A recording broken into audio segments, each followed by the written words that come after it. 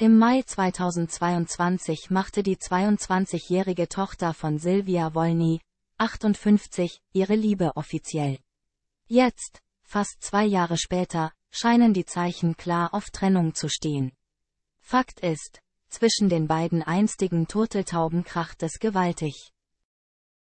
Während die Doppeltlaut-Interpretin zu den Schlagzeilen bislang schweigt und auf ihrem Instagram-Kanal kaum noch Persönliches über sich preisgibt, zeigt sich RTL ZWI in Plauderslaune. In einer Pressemitteilung zur neuen Staffel heißt es, Estefania und Ali hadern mit der Fernbeziehung zwischen Deutschland und der Türkei. Zusätzlich hält die Eifersucht die 22-Jährige fest im Griff. Weil Ali bis heute noch kein Visum erhalten hat, scheint auch ein dauerhaftes Zusammenleben im niederrheinischen Rathheim, wo der Kern der Großfamilie in einem umgebauten Gasthaus lebt, bis auf weiteres unmöglich zu sein.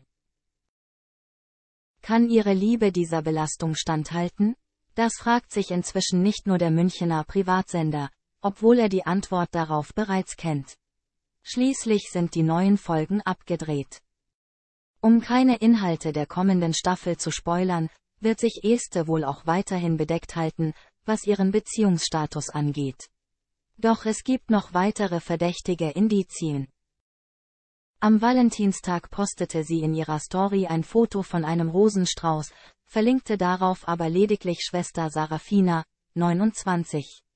Dazu war im verknüpftem Song auf dem Weg die Zeile zu hören, Meine Welt ist so abgefuckt. Zudem hat Estefania inzwischen auch alle Pärchenfotos mit Ali von ihrem Profil gelöscht.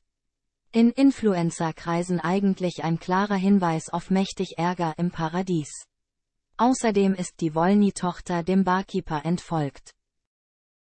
Ist die Sommerliebe also längst erloschen? Dass die Blondine plötzlich alle Kuschelmotive mit Ali von ihrem Kanal verbannt hat, muss nicht zwangsläufig auf eine Trennung hindeuten, denn leider sahen sich die Wolny-Schwestern in den sozialen Netzwerken auch immer wieder mit Rassismus konfrontiert.